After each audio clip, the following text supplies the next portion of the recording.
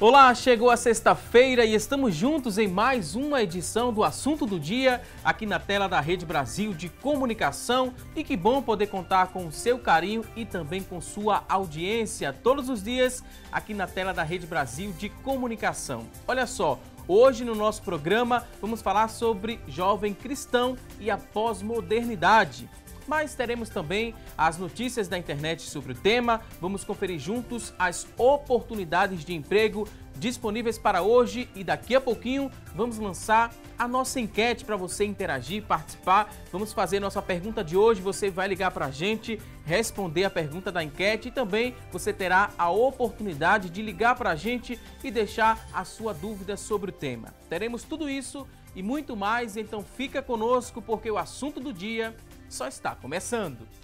E vivemos em uma sociedade em que tudo que nos é apresentado como normal, né? Por diversas vezes ouvimos, nós ouvimos que somos livres, podemos fazer da nossa vida o que bem entendermos, pois ela é nossa, mas na verdade Deus, ele nos deu o livre-arbítrio para escolhermos qual caminho queremos seguir. Mas o grande problema é que a liberdade ela se transformou muitas vezes em libertinagem, de modo em que os valores morais e religiosos estão desaparecendo. E o que acontece né, quando esses valores eles perdem o sentido?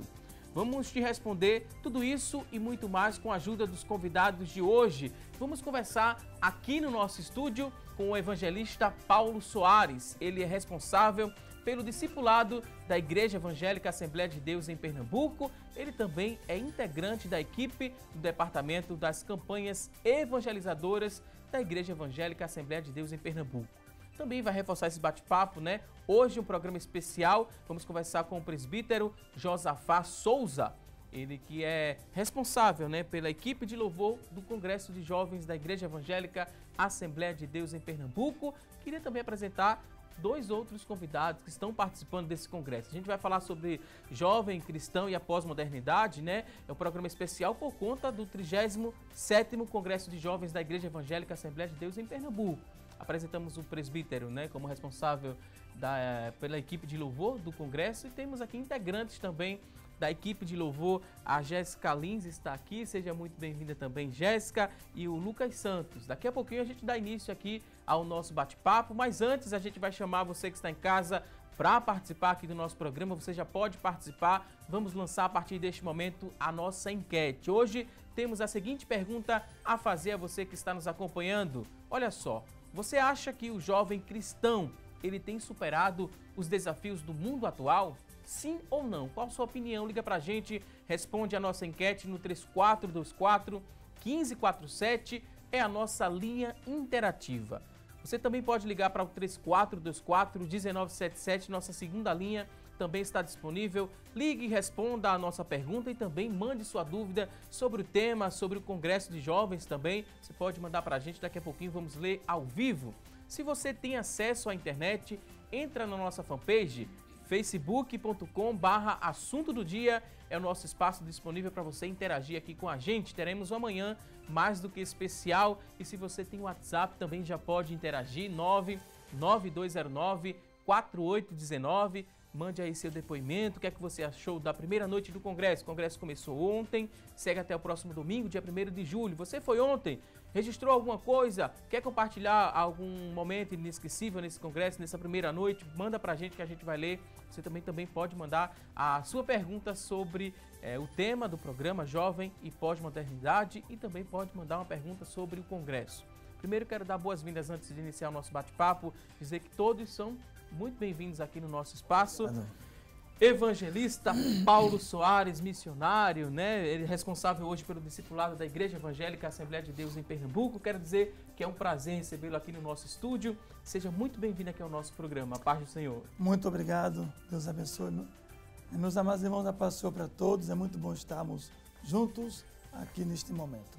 Também queria dar boas-vindas ao presbítero Josafá Souza. Seja bem-vindo aqui ao nosso espaço. Muito obrigado mais uma vez. Pela segunda vez estamos aqui participando. Deus, Deus abençoe. É um prazer estar aqui com o pastor Paulinho e estar aqui com a parte da equipe Louvor, né? Também, também queria dizer que os dois são bem-vindos aqui. Jéssica Lins, seja bem-vinda aqui ao nosso programa. Paz do Senhor. Também estou muito feliz por estar aqui. Agradeço a Deus pela, pela oportunidade, né, às lideranças, por ter confiado em nós aqui e que Deus abençoe cada um de nós. Seja bem-vindo também, Lucas Santos. Irmão, muito obrigado também. É uma satisfação imensa estar aqui com vocês nesta manhã. A gente já começa, né, falando um pouquinho sobre o tema do programa Jovem Cristão e a Pós-Modernidade, evangelista Paulo Soares.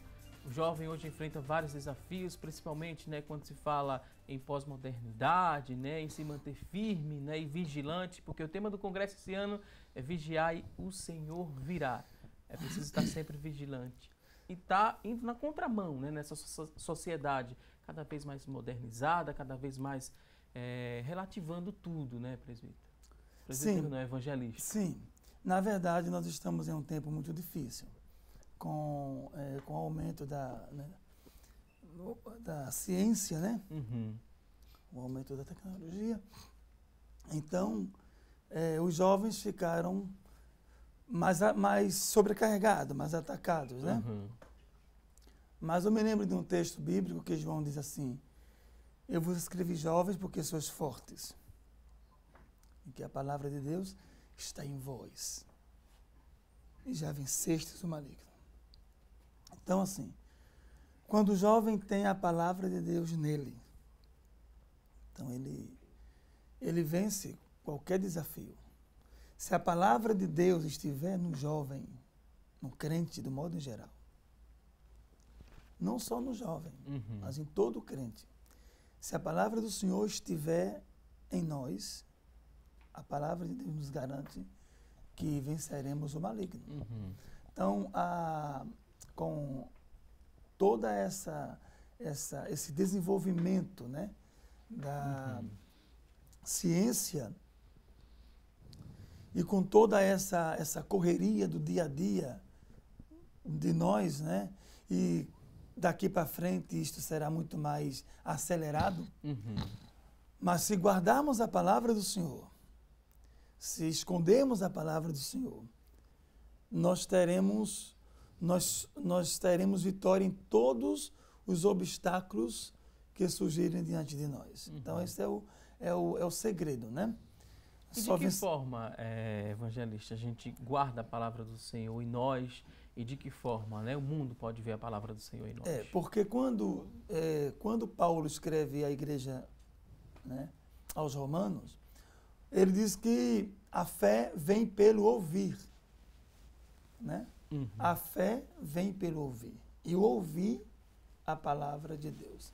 Então, se a fé vem pelo ouvir, então já iniciamos entendendo que se guarda a palavra de Deus a partir do momento que você ouve o que você lê. Uhum. Né? Quando você lê a palavra e você escuta, escuta a palavra e você guarda para si a palavra, então ela é como ela é como uma espada. Paulo diz lá, lá na carta né, aos Efésios que a palavra é a espada do Espírito. Uhum. Então ela é a espada, ela é o escudo, ela é o capacete, ela protege, né? A palavra de Deus, ela quando está dentro do, do homem da mulher, ela, ela atua como defesa da fé, defesa da vida espiritual do crente, né? Por isso que eu volto para João, né? Vós já venceste, vencestes o maligno. Vós sois fortes, né? Eu vos escrevi jovens porque sois fortes. E a palavra de Deus está em vós. E, e, e já vencestes o maligno. Ora, se a palavra de Deus está em nós, venceremos o maligno, venceremos os desafios da pós-modernidade. E é e daqui para frente não vai ficar muito muito assim é, muito fácil ser crente, muito Uhum. já não é, nunca foi fácil ser, servir ao Senhor, né? Nunca foi. Desde Nunca que a igreja de Cristo se se estabeleceu, que ela tem vivido desafios muito grandes, Uhum. desde o início da igreja né, primitiva, né? quando os apóstolos começaram a pregar. Aquela perseguição que houve na igreja não era de Jerusalém, a morte de Estevão e tudo aquilo foi um desafio muito grande. E dali para frente, a igreja vai estar sempre com um, um desafio à Uhum. frente. Né? Uhum. Vou incluir aqui o presbítero Josafá né, nesse nosso bate-papo, desses desafios. Quais os mais comuns que jovens vêm enfrentando né, hoje em dia? Que a gente poderia pontuar e de que forma consegue se superar esses desafios? É, eu achei interessante o que o pastor Paulo estava falando. Ele disse que daqui para frente está mais difícil. Uhum. Por quê? Apesar de ser mais jovem que o pastor Paulo, com todo respeito. Bem mais. Bem mais. Mas eu ainda alcancei uma época e nasci em um lar onde meus pais, eles eram mais velhos, eu sou fruto é, da velhice dos meus pais. Na realidade, quando minha mãe nasceu, eu sou um milagre. Minha mãe me gerou, ela engravidou, ela tinha já 46 anos e meu pai tinha 50 anos. Os Uhum. dois já não já não planejava ter filhos e Deus fez uma promessa à minha mãe que daria um filho na velhice e eu vim. Então eu alcancei uma geração através dos meus pais mais antiga, uma geração que eh, não alcançou o que nós estamos alcançando hoje. É assim. Eu vim ter meu primeiro telefone com 15 anos de idade, Uhum. né? De 14 anos de idade. Hoje a minha menina tem 3 anos, ela já tem um telefone. E é um smartphone, né? E ali já entra no YouTube, já consegue entrar nas redes sociais. Uhum. E aí o que acontece? As dificuldades surgem a partir daí. A pergunta que você fez. Nós não tínhamos há algumas décadas atrás tantas eh, tecnologias como hoje. Uhum. E o jovem se prende muito. Eu posso eh, colocar um ponto aqui. Hoje em si, as redes sociais. Uhum. As redes sociais, ela, eu posso dizer, não sei se o pastor concorda conosco, que Sim. Ela rouba 50% ou mais, Ou mais. do tempo dos jovens. Uhum. Existem até clínicas hoje de recuperações para viciados em redes sociais. Uhum. Jovens que perdem um tempo e às vezes eh, não se aplicam mais em estudo, não se aplicam mais em ler a palavra de Deus, Não se alimenta. pres- não se alimentam. E aí, o que o pastor disse é interessante e é, é um fator principal, primordial para se vencer. A palavra de Deus tem que habitar em mim. Uhum. E como é que a palavra de Deus vai habitar em mim? Eu tenho que ler a palavra, eu tenho que me alimentar da palavra, eu tenho que estar com ela no coração. Então, a partir do momento que eu não me alimento, eu me enfraqueço. É como uma vida diária, né? Nós precisamos comer, nos alimentar de manhã, de tarde e de noite, né? Uhum. Se você passa um dia sem se alimentar, automaticamente você fica fraco. E espiritualmente funciona assim, né, pastor? Muito. Então, os jovens hoje, os adolescentes, eh, de um modo geral, estão fracos espiritualmente. Então, é, quando você está com o corpo fraco, eh, o seu sistema imunológico está baixo, É você pode ficar eh, resfriado com mais frequência, né? Você Uhum. pode eh, ter uma Contrair uma doença, contrair um Fica mais vírus, uma- vulnerável. mais né, vulnerável. várias coisas. então, no sentido espiritual, funciona do mesmo jeito. O Uhum. evangelista Sival, ele estava ministrando ontem e eu achei interessante. Ele, uma coisa que ele disse, que o, o inimigo, ele tenta eh, minar ao- aos poucos a vida espiritual dos jovens, do crente. Ele não vem de uma vez, ele vem, né? Você, você vê que uma piscina, ela, ela está cheia. E quando está cheia, é bem bonita, a água até em cima. Mas se aparecer uma fenda, ela vai vazando e logo no início você não, não percebe. Uhum. Mas depois vai baixando, vai baixando, vai baixando. É o que acontece na vida espiritual, né? Uhum. Então, é, o meu ponto de vista da pergunta que você fez, as redes sociais hoje são é o É um fator, desafio. é um desafio para você ter equilíbrio.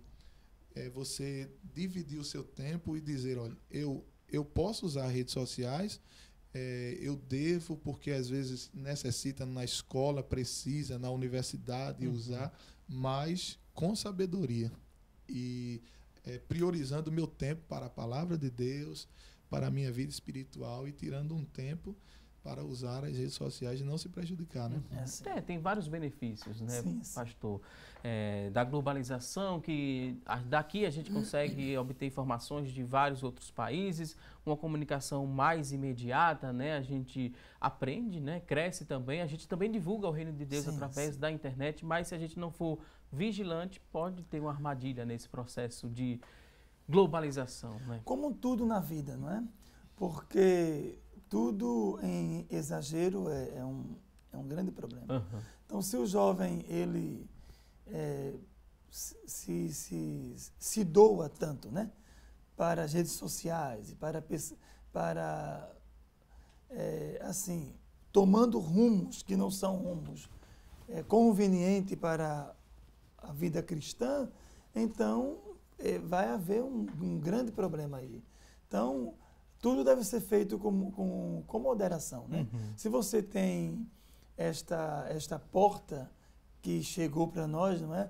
Da, é, da tecnologia, a porta que o mundo abriu, o mundo agora ficou, ficou perto de todo mundo, né? o mundo era muito né? longe e agora ficamos todos juntinhos, né? O mundo todo está juntinho. É. Então, assim, é, é, preciso aproveitar isso para o reino de Deus, né? Você, você investir isto, a, né, a tecnologia, a ciência, para o reino de Deus, para a propagação do Evangelho, para a defesa da fé, uhum. para orientação é, sobre o plano de Deus para a vida das pessoas. Acho que é importante. Agora a gente segue aqui, antes de ir para o intervalo, vamos escutar um bom louvor, um bom hino, uma adoração, presbítero Josafá e parte da equipe de louvor do Congresso de Jovens da Igreja Evangélica Assembleia de Deus em Pernambuco. Um dia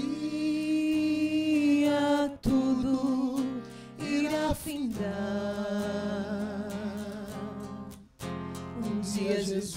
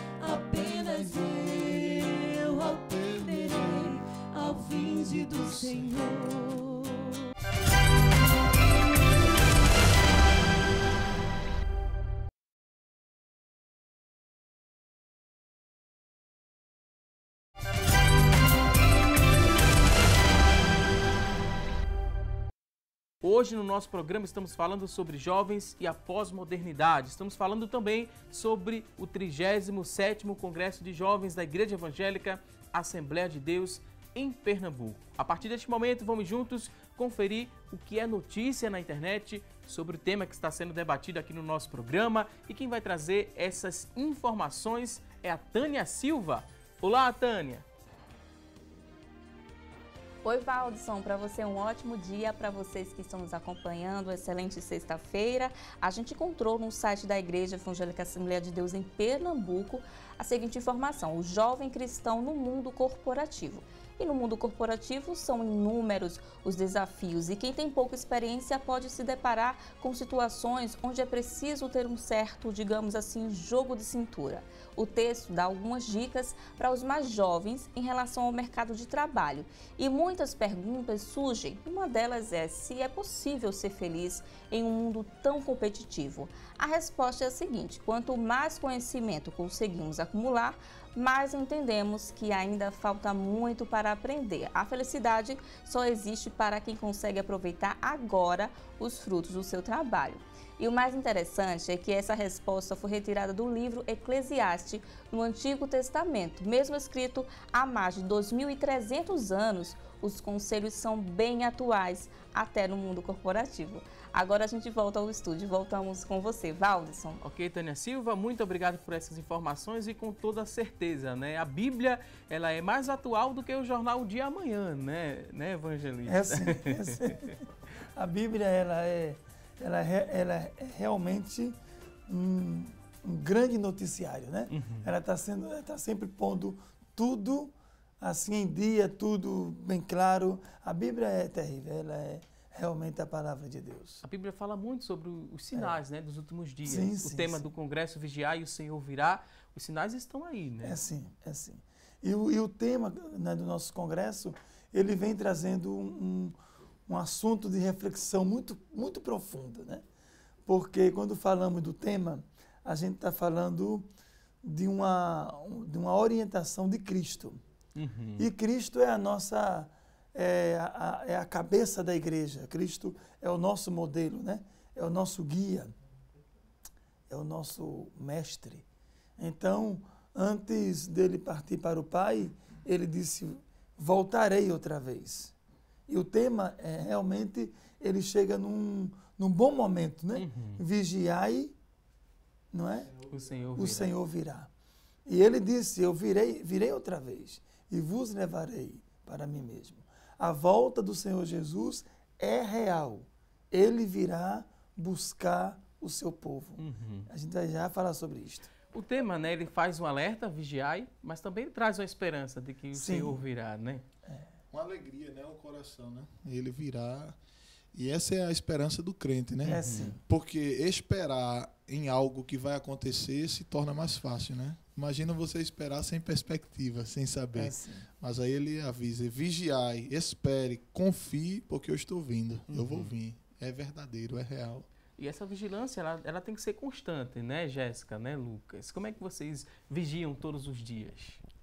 É importante né, que a gente esteja orando, jejuando, lendo a palavra de Deus, mas não só lendo, mas praticando, né, e mostrando às outras pessoas né, que Cristo mora em nós e que eles também têm essa esperança de um dia morar com o Senhor na glória. Uhum. conosco. É verdade, Jéssica. E eu acho que quando a gente ora e lê a palavra e pratica a palavra, as outras pessoas veem Cristo em nós. Uhum. né? E a partir do momento que elas veem Cristo em nós, nós podemos transmitir para elas essa esperança que nós temos de Uhum. que um dia nós estaremos no céu com o Senhor e que elas também podem estar juntamente conosco. Eu acho que a mensagem do Evangelho ela transpassa a nossa vida para alcançar os outros a partir do momento que nós nos dedicamos e nos consagramos ao Senhor e vigiamos para estarmos firmes e obedecendo a Sua palavra todos os Uhum. dias. Amém. E muita coisa, né, sobre ser vigilante, a gente aprende lá no discipulado, né? Sim, porque quando tratamos da volta do Senhor, é bem, é muito importante observarmos o seguinte: quem prometeu que viria foi Ele próprio. Então não é uma, uma, uma história que alguém disse que ele ia vir. Uhum. Em- embora haja muitos grupos que né, protestem sobre este tema, mas, o, mas Cristo disse: virei outra, Outra vez. vez. Mais tarde, quando ele vai subindo né, para o Pai, aqueles dois varões que descem ali diante dos discípulos e dizem para eles: Varões galileus, né, por que estás olhando né, para o céu? Esse Jesus que dentre vós foi assunto ao céu, ele diz assim: há de vir, assim como para o céu vestir. Então, a promessa da volta do Senhor é real. Milhares e milhares de crentes já partiram aguardando a chamada, o toque né, do arcanjo, a voz de arcanjo e a trombeta de Deus, como disse Paulo. Né? Os que morreram em Cristo ressuscitarão primeiro. Depois nós, os que ficarmos vivos, seremos arrebatados, juntamente com eles nas nuvens, a encontrar o Senhor nos ares. E diz o texto sagrado: e assim estaremos sempre com o Senhor. A volta do Senhor é real. Se eu não, não for arrebatado neste corpo, eu serei ressuscitado no arrebatamento da igreja. Glória a Deus. Glória e como a é Deus. que a gente transmite essa mensagem, né? Além de participar da campanha evangelizadora, a gente pode transmitir para os nossos amigos numa simples conversa, numa troca de mensagem. A gente está falando sobre o mundo pós-moderno, né? Onde todo mundo tem acesso à internet, onde todo mundo se conecta. É fácil levar essa mensagem através da internet? Como é que o senhor avalia, presbítero? Sim, hoje se tornou muito mais fácil, né? Como o pastor disse, né? Se torna mais simples é, evangelizar, falar de Jesus, porque Antigamente, eu posso dizer antigamente, assim, algumas décadas atrás, era muito atrasada as coisas. Você queria falar com alguém em São Paulo, mandava uma carta. Eu lembro que até hoje minha irmã mora lá e minha mãe queria falar com ela, escrevia através de carta e ficava esperando, demorava uma semana. Hoje você usa um e-mail, hoje você usa. Já fala na um, hora. É. Já fala imediatamente, faz uma transmissão né, Ao vivo. ao vivo. E aí você pode estar se utilizando disso, usando lá as redes sociais, você que tem, e sempre está falando de Jesus. E às vezes, aonde nós não podemos entrar, Uhum. a mídia ela vai. Como eu, eu vi o pastor, nosso muito digno pastor presidente, falando que é, uma pessoa tinha aceitado Jesus através do canal 14, uma pessoa que era muito é, assim, não aceitava né, o evangelho, era muito duro, era muito rígido, era irreversível é, o seu ponto de vista de Jesus, de, de igreja, mas através da TV Uhum. Quer dizer, nós não fomos lá, o pastor não foi, a igreja não conseguia entrar na casa dele, mas a TV entrou, né? A, atualidade nos ajuda, nos facilita nesse, nesse sentido, né? A semente foi lançada, A né? é Encontrou plantada, terra né? fértil. Isso. E aí a gente No- colhe os frutos. No discipulado, é, é muito interessante esta, esta, esta coisa, é, o ensino para o discipulado. Porque é no discipulado que o novo crente ele tem o princípio doutrinário bíblico. Né? Então, quando você, quando você ensina ao novo convertido as sagradas letras, né?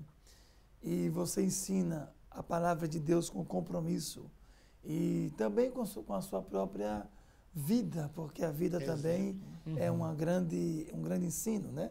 Não adianta a gente falar do que não vivemos, a gente ensinar do que não, daquilo que nós não praticamos. Então seríamos, seríamos hipócritas, né? E esse grupo de hipócritas não faz parte da igreja de Cristo, né? É verdade. mas você ensinar ao novo convertido a questão, do, a, a, as doutrinas bíblicas e você passar para ele a, a mensagem da volta de Cristo, do arrebatamento da igreja, do encontro com o Senhor, e este novo convertido, ele, ele assimila isto, né? Uhum.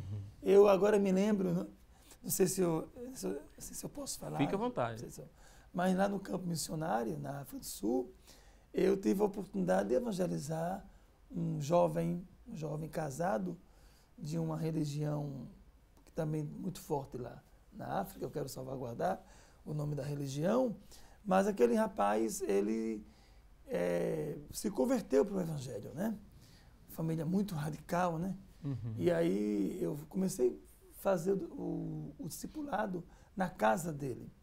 Ele morava na nossa cidade, em Vanderbilt Park, mas a família morava em Moçambique, na cidade da Beira, em Beira.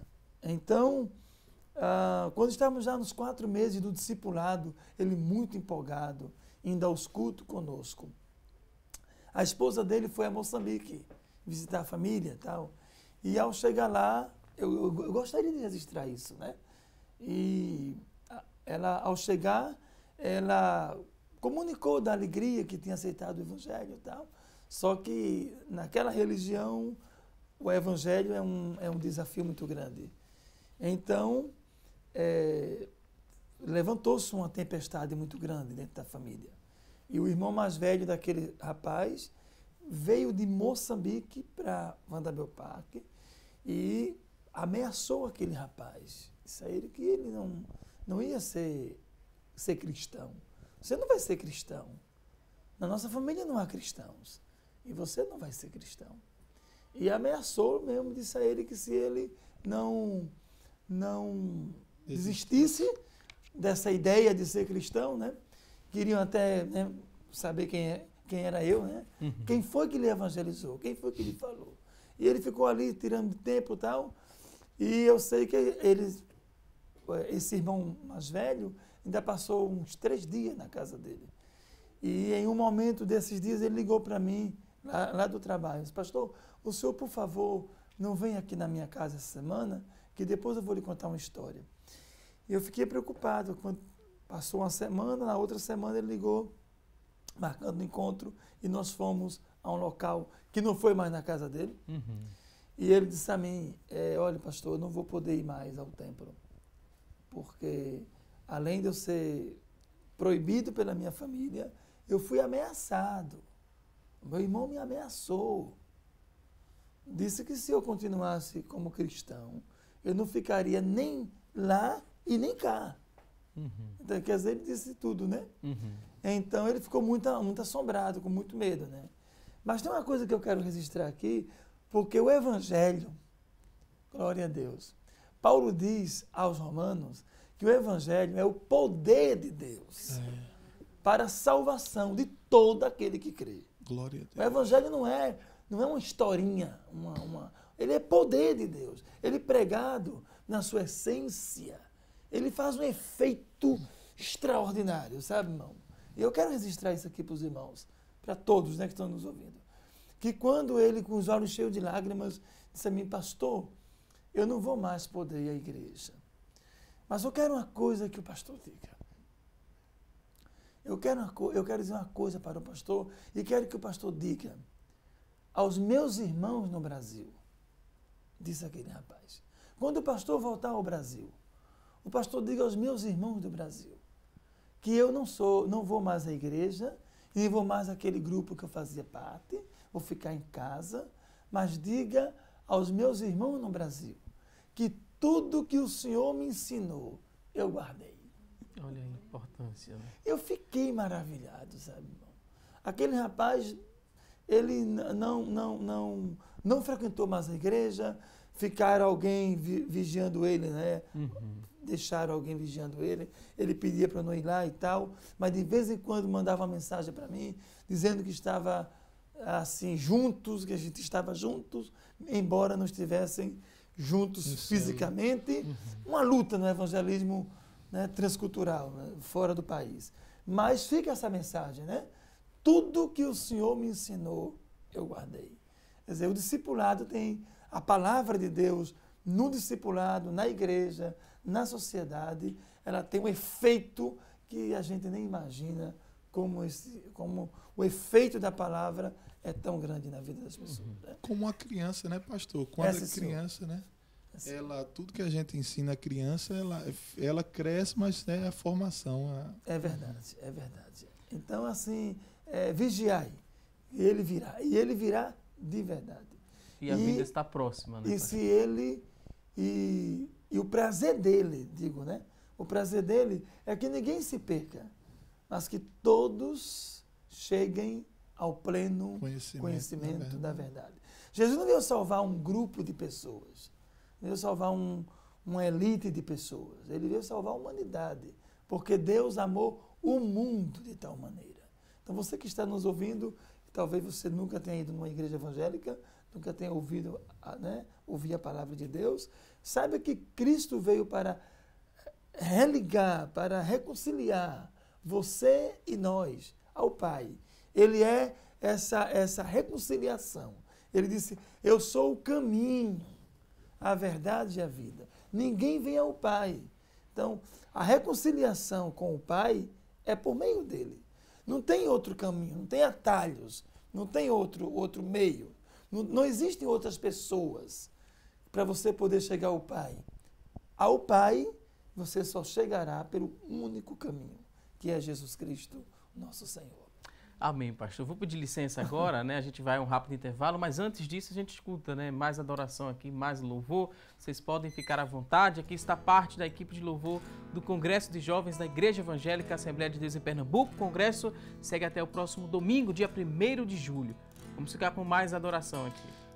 O fim está chegando, Jesus está voltando. Foi ele quem falou devemos, pois, estar atentos. A Bíblia se cumprindo, sinais aparecendo, e a igreja do Senhor espera em oração o tempo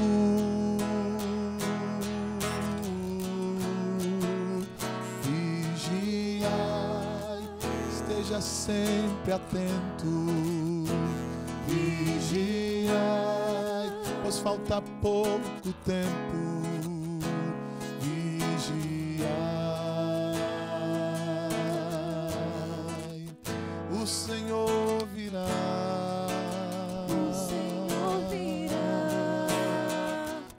Vigiai, esteja sempre atento.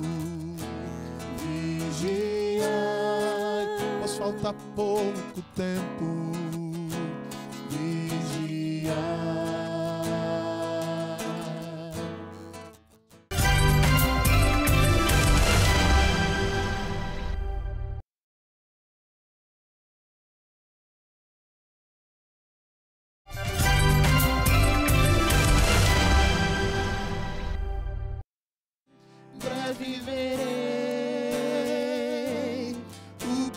Jesus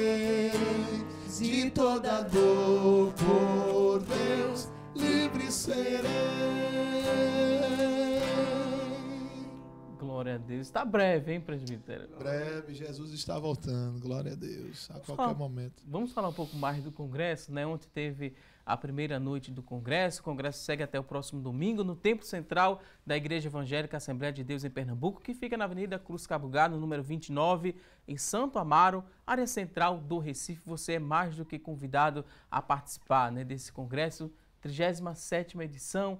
Ontem, a primeira noite, a noite de abertura, Jéssica participou, o Lucas também. O que é que vocês acharam da primeira noite? Foi uma bênção, né? O Senhor falou poderosamente aos nossos corações. O evangelista Simval trouxe a, a palavra de Deus né? e falou: Filhinhos, já é, a, é já a última hora. E o Senhor salvou almas, pessoas foram renovadas, Batizou com o Espírito batizou Santo. com o Espírito Santo e foi uma bênção. E acredito que hoje não vai ser diferente. Uhum. O que é que achou da, A palavra de ontem eh, marcou muito as nossas vidas, né?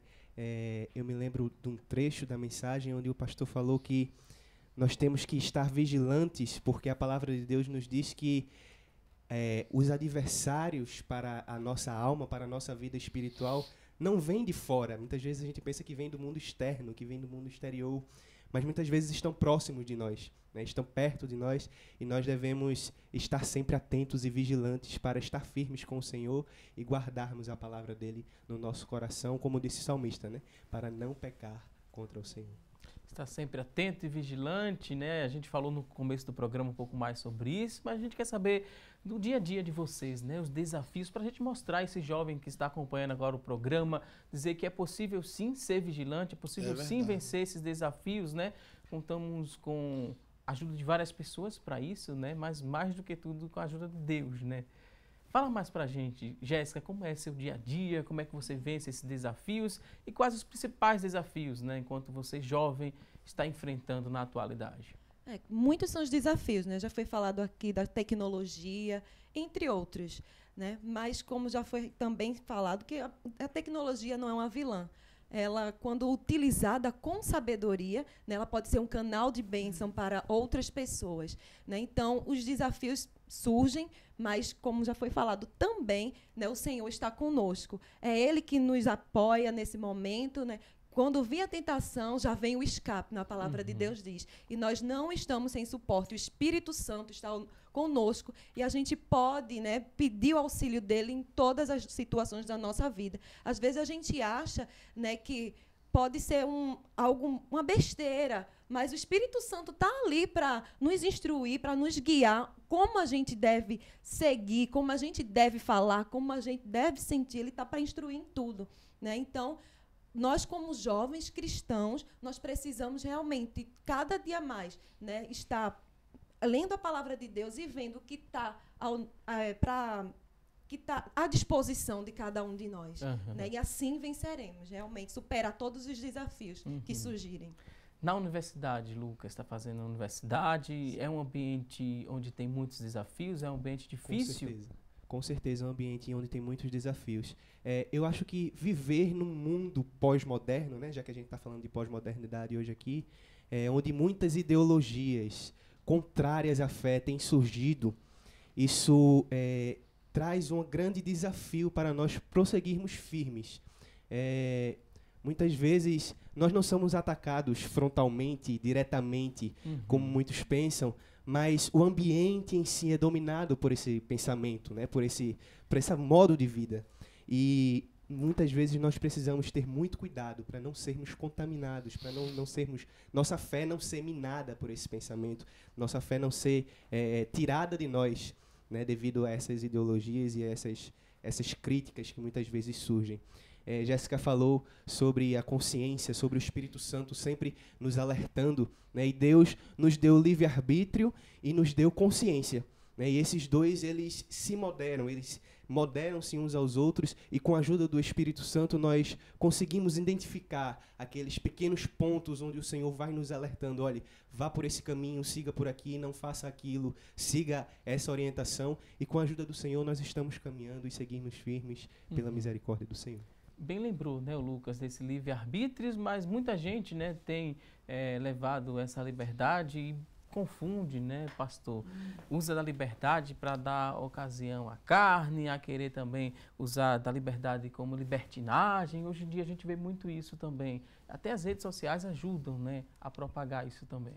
Infelizmente, a, a compreensão de democracia tem sido mal interpretada pelas pessoas, né? Uhum porque as pessoas têm confundido democracia com libertinagem, com algo que não tem limite, com algo que não há leis, com terra sem lei. Não. Democracia é um sistema é, de vida e de governo e de sociedade em que existe, existem regras, uhum. não é?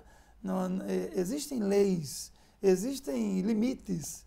Então, Infelizmente, num, no contexto geral da liberdade, que está ligado diretamente a, a, a, uma, a uma, democracia, uhum. de um uhum. modo geral, mas aí não se pode confundir a liberdade. De, Jesus diz assim: E conhecereis a verdade, e a verdade vos libertará. Verdade vos libertará. Né? Conhecimento vos libertará. Né? Leitura bíblica, leitura de modo geral, né? Lhe esclarecerá, lhe mostrará. Então conhecereis a verdade. E esta verdade que você foi em busca, lhe libertará.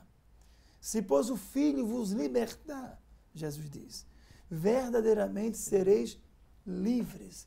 Então, assim, o contexto, a, é, o contexto de liberdade, a liberdade real, está em Cristo. Você tem gente, tem gente que fala assim: ah, você é crente, você não é, você não é livre, você não tem liberdade. Quem mais tem liberdade são os crentes. em Cristo, né? Uhum. Agora, nós não temos liberdade para fazer o que não presta. Não é? É diferente. Eu acho que é isso que Você incomoda compreende também, né? pastor? Nós temos liberdade para fazer o que convém fazer. Paulo diz: todas as coisas me são lícitas. Mas nem todas as coisas mas me nem convêm. todas me convêm. eu- nós, nós somos uma pessoa que temos liberdade. Livre, Agora, somos livres. Uhum. Livre para fazer aquilo que vai, vai produzir frutos, que vai produzir o bem para o outro. Né? Então, não, não se pode confundir as coisas. Então, há pessoas que dizem assim, "Ah, eu, eu, eu sou livre, posso fazer da minha vida o que quiser. Ok, mas veja se você faz da sua vida uma coisa, alguma coisa para a glória de Deus. Né? Porque se você fizer a sua vida de maneira como você imagina fazer, do seu modo de ser, então você poderá viver muito pouco. Porque, infelizmente, é o que temos visto hoje na sociedade atual, né, moderna, né, pós-moderna, Tem consequências, né, dessas as escolhas. consequências, não é? A gente tem visto hoje jovens, e são aos milhares de jovens, que têm perdido a vida Uhum. antes dos 25 anos de idade, não é? pela droga, pela, pela vida, né, pelo tráfico, pela vida. Foi uma, um- foi uma escolha que fez de liberdade equivocada. Uhum. Né? Uma liberdade equivocada. Porque, e conhecereis a verdade, no, no sentido de conhecer Cristo, né? E a verdade vos libertará. Se, pois, o Filho vos libertar, Jesus fala, verdadeiramente sereis Livres. livres. O povo, não existe um povo mais livre na terra do que a igreja. Uhum. Né? Livre e feliz, Feliz. também, né? E com escolhas acertadas. É e uma dessas escolhas, pastor, é participar desse congresso, né? É verdade. um momento- é uma vez no ano esse congresso. Esse ano é um ano especial, o centenário da igreja também, ainda mais especial. O que, que a gente poderia falar, né? Desses dias. Já passou um dia, né? Ainda há É. tempo. Tem hoje, tem sábado e tem o domingo, que é o culto de encerramento. Também tem a manhã missionária pela Uma manhã. benção. Eu queria só, rapidinho, o pastor falou de algo que eu, eu me lembrei. Quando eu estudava na escola, o senhor estava falando sobre as escolhas que refletem no futuro. E eu estudava na mesma sala, tinha um amigo, né? Não vou citar o nome dele por questão de ética, mas eh, na época eu já eh, sempre fui evangélico, nasci num lar cristão, e ele me julgava muito. Ele dizia, ele me chamava de quadrado, de atrasado. Ele dizia, você é muito atrasado, antiquado, porque terminava a, gente saía da escola e eles iam às vezes, né, num bar, iam se divertir. Eu nunca ia, eu sempre dizia, eu sempre falava de Jesus, convidava ele à igreja. E ele dizia: Não, ah, eu nunca me esqueço. Ele dizia: Olha, eu sou livre, a única coisa que eu sou preso é a filosofia. Ele gostava muito de ler livro de filosofia, tudo. E di- diz, é, a, a ideologia dele era essa. E o tempo passou. Uhum. Eu saí do colégio, fui fazer universidade, ele também, e nós nos encontramos mais. E alguns anos depois, eu creio que uns 10 anos depois, eu estava no shopping com minha esposa, quando eu estava descendo na escada rolante, e eu avistei. E eu chego a me alegrei, eu disse a minha esposa, é um amigo meu, eu não sei se ele vai me lembrar, lembrar de mim, aí desci e fui falar com ele. Quando eu falei, aí, oi, fulano, tudo bem? Tudo bem, como é que você está? Aí começamos a falar, e a tua vida? Aí eu disse, ah, eu estou bem, estou na igreja, essa aqui é minha esposa, essa aqui é minha filha, eh, Deus tem me ajudado, estou na igreja, servindo ao Senhor. Aí ele disse, ô rapaz, se eu tivesse dado ouvido a você, a minha vida fui internado, me envolvi nas drogas, eh, tenho um filho que eu não queria ter, me prostituí. E eu chorei, pastor, com aquela realidade. Uhum. E eu vi o quanto uma escolha reflete no seu futuro. É, faz no futuro. Então, a escolha, a sua escolha hoje, às vezes você pensa que não, mas lá na frente é que você vai ver o que aconteceu. É, É, é, é a liberdade equivocada, né? Uhum. o que o é, senhor estava falando. Exatamente. É o entendimento de liberdade equivocado, né? Você tem que ter, tem que aproveitar a liberdade que você tem para o bem, tanto seu como da família, como da sociedade, como de quem está perto de você. A liberdade não, não pode ser agressiva, não pode nem agredir você e nem agredir os outros, né? Uhum. A liber- liberdade tem limites, né?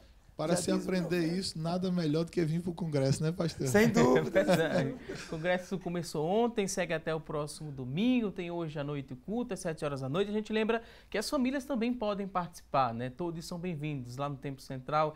Jéssica, faz um recado, né? Dá um recado, faz um convite, na verdade, para quem está em casa nos acompanhando a participar dessa segunda noite. Está também na expectativa, né, que chegue logo às 7 horas da noite, mas antes, né, tem ainda Culto tem o culto introdutório, tem o né? culto introdutório. antes culto horas. oficial. Uhum. Quem ainda não foi, Chegue a oportunidade de você ir. E hoje, né, chegue lá. Deus tem uma palavra para você, assim como ele já tem falado. os- a fonte do Senhor é inesgotável. Glória a né? Deus. Então ele tem palavra para você. O nosso Deus é um Deus fiel e maravilhoso. Vá, chegue lá, né? Vamos adorar, glorificar e exaltar o nome do Senhor, porque somente Ele é digno de toda a nossa adoração. Deus nunca decepciona, né? Se você. Vamos fazer um desafio também com os jovens que estão em casa, né? Acham que Boa vão para o um Congresso desafio, e vão verdade. sair da mesma forma, vão sair como se nada tivesse acontecido. A gente desafia a chegar lá no Templo Central, É. Avenida Cruz Cabugá, número 29, Santo Amaro, área central do Recife. Sinta-se desafiado a participar, que alguma coisa na sua vida vai acontecer. Às vezes você chama um amigo seu, né, para ir ao cinema, para se divertir, não é, pastor? É assim. Para ir uma praia, então reserve, são apenas duas horas de culto. Sim. Você pode ir, você vai ser bem recepcionado, vai se sentir bem. É fácil a localização, né? Avenida Cruz Cabugá, número 29. Não vá sozinho, leve um amigo, leve um parente seu e Sim. vamos adorar ao Senhor. E como disse o apresentador, nosso amigo, é um desafio. Se você voltar da mesma maneira, é impossível, É, porque é. Deus vai falar com você. Pelo menos uma semente será lançada lá no seu coração. Sem dúvida. E se ontem foi diferente. bom, né, pastor? Imagine hoje. É assim, cada culto tem a sua, a sua particularidade, né? É. Deus tem assuntos do dia, né? Como está aqui o... Não é? Deus tem o assunto do dia, né? E certamente É o Senhor... mandar, né, pastor? Que vinha Certamente o Senhor... diário. Certamente o Senhor terá um assunto hoje para tratar com o seu povo, com você que vai estar lá, em nome de Jesus, o nosso pastor presidente, nosso pastor Aildo José Alves, juntamente com a igreja, vai se sentir muito honrados de você chegar lá na, naquele culto. Hoje à noite, amanhã pela manhã, teremos trabalho a partir das nove da manhã Uhum. Até ao meio-dia. Sim. E à noite teremos o culto, né? E também no domingo pela manhã, mãe missionária, e domingo à noite o culto de encerramento. E a gente lembra também, vou pedir licença aqui o pastor, Pois se você não eh, tiver condições de chegar até o Templo Central, né, você pode acompanhar através da Rede Brasil de Comunicação, Sim. canal 14.1, você liga a televisão. Logo após o Jornal Estado, seis e meia da noite, você liga a televisão, vai começar aí, né, eh, o início da cobertura. A gente teve o primeiro dia ontem, foi belíssimo, foi incrível, foi algo mesmo que impactou muitas vidas. Você vai ligar e fazer da sua casa um culto, né, fazer um culto no lar. Também convida os né? amigos a assistirem né, essa programação. Começa às seis e meia da noite. E após o culto, a gente lembra também que tem um programa especial apresentado pelo jornalista Guilherme Glória. Né? O Guilherme está apresentando o Adenil Jovens. É um programa muito especial que debate também né, Sim. várias temáticas voltadas para o público jovem. Então você pode ligar Rede Brasil, canal 14.1. Fica aqui na programação da nossa televisão, né, da Rede Brasil, você com certeza vai ser abençoado. E a gente vai encerrar esse bloco do programa com mais adoração aqui. Vocês podem ficar à vontade. Vigiai, esteja sempre atento. Vigiai, pois falta pouco tempo. Vigiai, o Senhor virá, o Senhor virá. Vigiai, esteja sempre atento.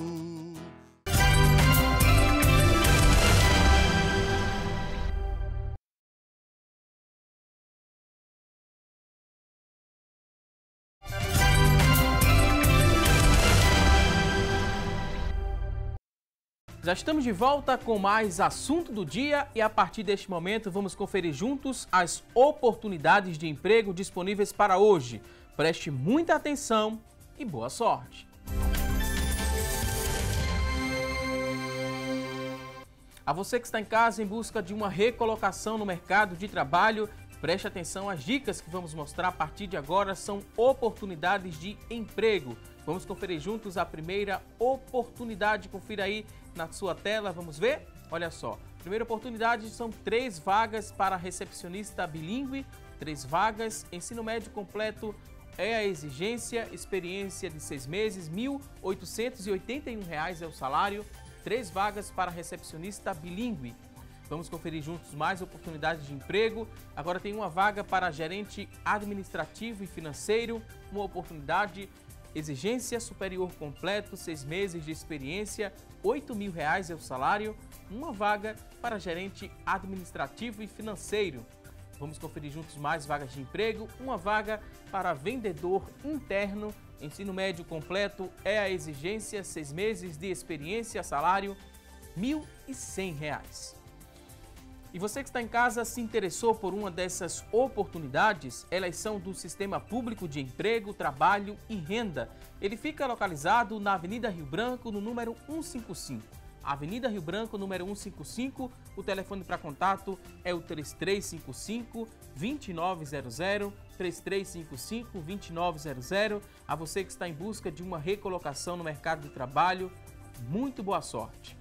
E a gente segue aqui para falar um pouco mais sobre o 37º Congresso de Jovens da Igreja Evangélica Assembleia de Deus em Pernambuco. Hoje é o segundo dia do congresso, né? E se você chegar lá no Templo Central, será muito bem-vindo, será recepcionado por várias pessoas, vários jovens, né? Que vêm de vários, vários lugares aqui do nosso estado, vêm caravanas de várias partes do nosso estado, também vêm jovens de outros países, participam também. Então você será bem-vindo, está mais do que convidado e lá você vai encontrar também parte. Lá vai ser a equipe completa, né? Ministrando é, louvores e adoração ao Senhor. O presbítero Josafá está aqui nos auxiliando, né? É, é um prazer recebê-lo aqui no nosso programa. Amém. Estaremos lá esperando você hoje à noite, viu? Em nome de Jesus. Como disse nosso irmão, vem jovens de todo estado e também de fora, né? Alguns, é né, pastores, que vêm de outros estados. Estaremos lá adorando ao Senhor. É uma vez no ano, né, o congresso. Quando acaba, né? Acabou o congresso passado, já fica aquela expectativa, né? Aquela expectativa de contar os meses, contar os dias. Aí ontem vocês estavam contando as horas, hoje está no segundo dia. Hoje a contagem, né, é para que não acabe rápido, né, Jéssica? Que demora mais um pouquinho, que não chegue logo domingo, não. Um dia de cada vez. É verdade, né? Aproveitar cada momento, né? cada segundo. Né? É, é uma expectativa muito grande. A gente espera o inoficial, o quem é, vai trazer a palavra de Deus, né? os louvores que serão entoados, os louvores do grande coral grande também, coral. que ontem foi uma bênção, cantou o hino do centenário, ficou lindo. Né? Então, é, tudo é lindo para a glória de Deus. Né? Uhum. Para a gente ver né, daquela forma, existia um preparo, né, Lucas? Tem que ter dedicação, tem que ter disciplina, tem vários ensaios também. Sim, com certeza. É, o Grande Coral já vem ensaiando aí há vários meses, né? É, e assim, como falou, que a gente quer que passe mais devagar, a gente quer que cada dia dure dois. né? Porque é tanta expectativa que a gente cria antes e quando chega a gente quer aproveitar cada momento, cada segundo ali na presença do Senhor. E eu tenho certeza que da mesma forma que o Senhor se fez presente ontem, falou conosco, nesses três dias que ainda estão por vir, com certeza Ele falará muito mais nas nossas vidas. Uhum. Falar um pouquinho do, do inoficial, né, presbítero? Como é que é, né, a composição, vocês recebem, o senhor recebe o tema e vai orar, né, vai buscar Deus e Deus vai dando ali é, cada acorde, cada palavra a ser é, usada, verdade. como é que é a composição? É, o hino oficial, ele se torna mais, é, se torna diferente de outros hinos, justamente porque ele é ligado a um tema, né? Uhum. Às vezes um compositor, ele quer escrever uma canção e se torna mais simples porque vem na mente e você pode escrever livremente, mas quando você é preso a um tema, né, como uma mensagem, né, pastor? Uhum. Você tem que ser subordinado ali, mas o segredo é orar, né? Pedir a Deus uhum. orientação, pedir a Ele misericórdia e segundo a sua misericórdia. E esse ano teve a participação do evangelista Josiel Soares. Ele foi um dos que ajudou no hino oficial e está sendo uma benção para um regular no nome de Jesus. Uhum. Bênção também, né? Existe esse tema, né? Vigiar e o Senhor virá. Também tem estudos, né? Baseados nesse tema, né, pastor? Fala sim, um pouquinho sim. desses estudos, desse momento, né? Em que os jovens param para aprender mais no Congresso. Nesta, neste grande evento, a, a reflexão, ela é a, ela é a aliada, né? Uhum. Principal dos jovens, né? Quando nosso pastor presidente escolheu esse tema, exatamente por uma questão de reflexão, né? A reflexão profunda de que a volta do Senhor é a nossa maior esperança. A gente Nós temos vários desejos como pessoa, né? Temos vários propósitos, vários planos, não é? Não é o que a gente é crente que não vai, não vai ter planos, né?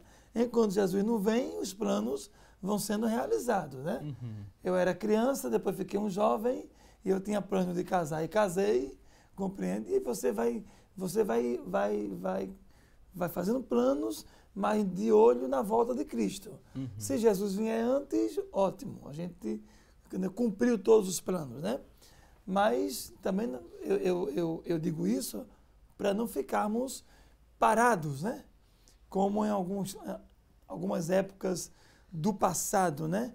Que alguns países, é, algumas linhas doutrinárias fizeram o povo até parar de trabalhar em, à, à espera de Cristo, outros marcaram datas dizendo que o Senhor vinha naquela data, que o dia e a hora ninguém sabe, não adianta ninguém querer ficar fazendo cálculo com as 70, 69 semanas, não sei o que lá, não adianta. né? Ele vai vir, essa é a verdade, ele virá. Amém, né? Amém. Ele virá. E se ele vier agora, nós estaremos com ele. Se ele demorar mais um pouco e nós formos é, né, para o outro lado, né, para o lado da eternidade. Né, pela morte ressuscitaremos, como já falamos, de modo que a reflexão deste tema, neste congresso, eu não tenho nenhuma dúvida, irmãos, que essa mensagem, este tema que o pastor, nosso pastor presidente escolheu, é um tema que vai vai trabalhar não só agora no congresso, uhum. mas vai estar trabalhando durante a vida do jovem. O jovem, a igreja, de um modo geral, vai estar refletindo este tema, que é muito interessante. Ok. Eu vou ler agora algumas participações que estão chegando através do nosso WhatsApp. Tem muita gente interagindo, muita gente participando. 99209-4819 é o nosso WhatsApp. E tem aqui uma participação lá de Jaboatão, é a irmã Eva. E ela fala o seguinte: o testemunho do pastor Soares, né, que ele falou agora há pouco, tem um grau de muita importância para mim. No tempo da minha, na minha conversão, né, em minha adolescência, ela disse que foi expulsa de casa, mas ela permaneceu firme e após né, ela permanecer firme um tempo fora de casa, ela foi convidada a voltar ao lar. E quando ela voltou, né, ela viu a importância né, dela ter se permanecido firme, né, que só assim ela pôde com a ajuda de Deus, libertar os familiares e hoje todos estão com Cristo e ela louva a Deus por isso, Glória né? E ela fala aqui para os jovens, nunca desistam, né? Jesus é a solução. Olha sem só, dúvida. a mensagem teve o caminho certo, né? Pastor? É porque o evangelho, como nós já falamos, tem o poder de transformar. Tem uma coisa que eu gostaria de registrar aqui nessa nossa palestra, é que o evangelho não precisa de enfeite. O evangelho não precisa enfeitar. Uhum. O evangelho não, não precisa inventar nada, sabe? O evangelho é simples.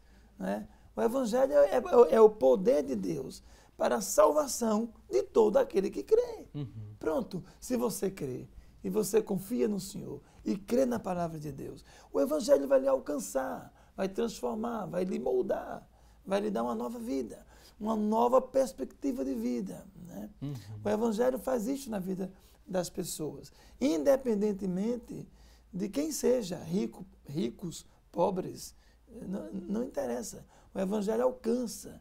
E quando ele alcança uma pessoa, ele, o poder do evangelho é capaz de mudar de fato as pessoas. A gente vê, por exemplo, na Bíblia, Paulo, né? Quem foi Paulo, né? Que foi um grande perseguidor do evangelho, religioso ao extremo, porque ele era fariseu, e perseguia, quando, quando viu a igreja se organizando e crescendo, perseguiu demais a igreja do Senhor, mas lá na frente o Senhor alcança ele, né? Uhum. E ele torna-se o grande apóstolo que todos nós conhecemos, o apóstolo Paulo. De modo que, se você ouvir a palavra e guardar a palavra, aceitar a palavra de Deus e, sobretudo, né, confessar Jesus como seu Senhor e Salvador da sua vida, o apóstolo Paulo, eu quero aproveitar esse momento, que eu acho muito importante, né? É, esse momento de evangelização. O apóstolo Paulo, quando escreve a igreja em, aos Romanos, lá no capítulo 10, versículo 8 em diante, ele fala assim: a saber, Se com a tua boca confessares ao Senhor Jesus e em teu coração creres que Deus o ressuscitou dos mortos, serás salvo. Isso é muito forte, né? Se com a tua boca confessares ao Senhor Jesus e em teu coração creres que Deus o ressuscitou dos mortos, serás salvo. E essa salvação não é paga, não tem preço. Você não vai pagar, você não vai. Porque não, não vem das obras. Paulo, Paulo também escreve isso aos irmãos de Éfeso, né? Porque pela graça sois salvos por meio da fé. E isto não vem de vós, é dom de Deus. Não vem das obras, para que ninguém se glorie. Então, guarde essa palavra, participe da igreja, do, do Evangelho de Cristo, reúna-se numa igreja que tenha compromisso com a palavra. Porque também não são todos os grupos que têm o mesmo uhum. compromisso com a palavra. Verifique, a, faça uma, uma avaliação. Você quer servir a Deus? Verifique aonde vai servir, para não estar em lugares parecendo que é e não, e não é. Com a boca a gente confessa, né? E com a boca também a gente louva a é Deus, é sim, né? É que é um momento também muito importante. Queria que vocês ficassem à vontade, pode levar a gente em adoração. Oportunidade de estar com vocês. Jesus sim vem do céu em glória, ele vem ecoa nova pelo mundo além. Ó oh, esperança que a sua igreja tem, dai glória a Deus. Jesus em breve vem. Nossa esperança é sua dos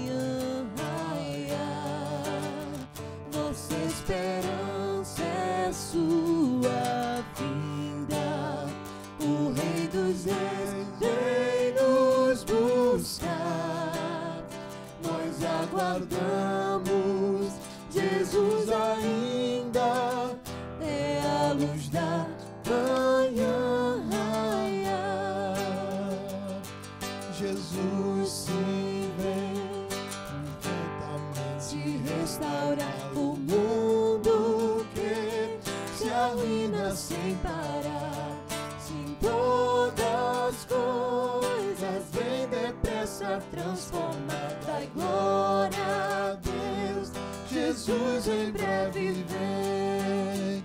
Nossa esperança é sua vida. O Rei dos Reis vem nos buscar. Nós aguardamos Jesus ainda até a luz da manhã. nossa esperança é sua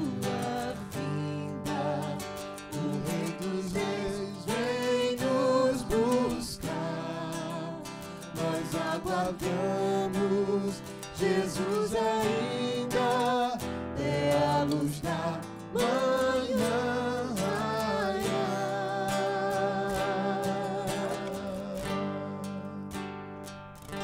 Pode ser hoje, pastor. Pode Sim. ser agora. Glória a Deus. Maranata, né? Ora, vem, Senhor Jesus. Glória a Ok, a gente quer convidar, né? Mais uma vez, estamos chegando à reta final do programa. Convidar você, jovem, a participar do 37º Congresso de Jovens da Igreja Evangélica Assembleia de Deus em Pernambuco. O evento segue até o próximo domingo, dia 1 de julho. A gente lembra, terão estudos, né? Hoje, 7 horas da noite, tem o culto, amanhã tem estudos pela manhã e também à, noite. noite. né? E no, no, domingo tem a manhã missionária, né? Fala um pouquinho dessa manhã missionária. O que é que se aprende na manhã missionária? Ah, o trabalho da, é, de missões é um trabalho que move, mexe muito com a igreja, né? A igreja é missionária, né? Nosso pastor presidente é um missionário, né? Um amante da missão, de modo que a igreja é também amante da missão, né? E nós nossa igreja tem algumas famílias é, na Argentina, na África do Sul, temos família em Moçambique, temos famílias em Portugal, temos família em, em Guiné-Bissau, no Peru. Então, o trabalho missionário da igreja, esta manhã missionária, é, será assim, um trabalho de reflexão sobre o trabalho que a igreja vem fazendo nesses países, né? De modo que a manhã missionária ela traz como assim uma, um renovo à igreja, né? Ela, a igreja passa a ter conhecimento como está o trabalho, passa a vivenciar um pouco como estão, a saber, digo melhor, a saber como estão os nossos missionários, as famílias, é, como está a igreja do, no campo missionário, de modo que a manhã missionária ela, ela acende o fogo uhum. missionário da igreja. Como né? ouvirão, né, pastor, se não há quem pregue. Pois é. Então, Paulo disse isso aos crentes de Roma, né? Como ouvirão se não há quem pregue? Então, o trabalho missionário é fundamental para a, né, para a igreja do Senhor e, sobretudo, para a Assembleia de Deus de Pernambuco, que é pioneira no trabalho missionário. Ok, vou pedir licença aqui aos nossos convidados. No começo do programa a gente fez uma pergunta, chamou você a participar aqui da nossa enquete. A pergunta da enquete de hoje foi a seguinte: você acha que o jovem cristão ele tem superado os desafios do mundo atual? Olha só, das pessoas que ligaram para a gente e participaram, 80% responderam que sim, que os jovens estão superando os desafios do mundo atual. 20% responderam que não, jovem cristão, né? A gente agradece a você que ligou, que participou. Agora a gente chega né, para as considerações finais. Queria muito agradecer a participação de todos aqui no nosso programa. Obrigado. Foi uma manhã muito abençoada, uma manhã. É única, né? uma manhã diferenciada. Evangelista Paulo Soares, ele que é responsável pelo discipulado da Igreja Evangélica Assembleia de Deus em Pernambuco, também faz parte da equipe do Departamento das Campanhas Evangelizadoras, missionário. Evangelista Paulo, muito obrigado pela participação. Considerações finais agora, o último recado, o senhor pode ficar à vontade. Na verdade, eu, eu hoje me sinto muito honrado né, de estar aqui junto com o grupo. Quero agradecer de coração Primeiramente é o nosso Deus, né? Que é o dono da vida, que nos tem dado este momento. Também o nosso amado pastor presidente, nosso pastor Ailton José Alves, queremos deixar aqui registrado o nosso agradecimento e a toda a equipe. Não sei se a gente. Mas acho que foi bom estarmos juntos, né? Deus abençoe a todos, em nome de Jesus. Foi uma benção, pastor. Foi Também queria bom. agradecer aqui a parte né, da equipe de louvor que está participando desse congresso, do Congresso de Jovens, o Lucas Santos, muito obrigado pela participação. Obrigado. Um último recado, pode ficar à vontade, dar um, fazer um convite né, também para quem está em casa. Sim, com certeza. Foi uma alegria muito grande estar aqui nesta manhã. E você que ainda não chegou no Congresso de Jovens, também temos aí três dias ainda. Dá tempo de chegar, chegue lá para juntos adorarmos ao Senhor. Também queria agradecer a Jéssica Lins. Jéssica, muito obrigado pela participação. Fique à vontade considerações finais. Eu também agradeço o convite, né? agradeço ao meu Deus por essa oportunidade. E você que ainda não foi, ainda há a chance de você ir, venha conosco adorar a Deus. Também queria agradecer ao presbítero, né, Josafale, que é responsável pela equipe de louvor do uhum. Congresso de Jovens da Igreja Evangélica Assembleia de Deus em Pernambuco. Sempre um prazer recebê-lo aqui. Amém. Mais uma vez eu agradeço.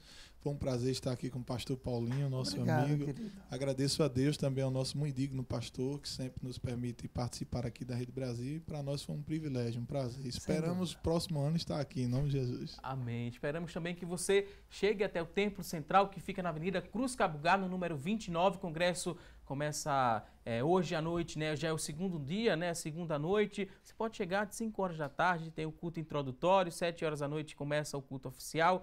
Se você tiver alguma dificuldade em chegar, né? Pode assistir também através da Rede Brasil de Comunicação, canal 14.1. Liga, né, logo no Jornal Estado, 6 horas da noite, depois você começa, né, a assistir a cobertura do Congresso, 6 e meia da noite, segue, né, todo o congresso e após o culto tem um programa especial que é o Adenil Jovem, né? Você vai ligar e vai assistir, né? Entrevistas, muitos jovens também irão participar do Adenil Jovens e quem está apresentando é o jornalista Guilherme Glória, né? A gente acompanhou ontem, né, a cobertura da Rede Brasil, canal 14.1 arroba IEADPE Oficial, você também fica por dentro de tudo que está acontecendo no Congresso, 37º Congresso de Jovens da Igreja Evangélica Assembleia de Deus em Pernambuco. A gente agradece seu carinho e também sua audiência. Não se esqueça, teremos um novo encontro na próxima segunda-feira, ao vivo, a partir das nove e meia da manhã, se assim Deus nos permitir. Forte abraço, um ótimo fim de semana e até segunda, se Deus quiser. E a gente encerra com música. Até lá! Vigiai, pois falta pouco tempo. Vigiai, seja bem atento. Vigiai, o Senhor virá. O Senhor virá. Vigiai. Esteja sempre atento.